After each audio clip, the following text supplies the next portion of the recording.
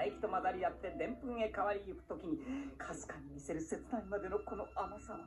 ズバリ庄内平野で産湯を使い収穫して後じっと3年寝かせた今が食べ頃と言われるあの黄金の豊作の年82年型笹ひ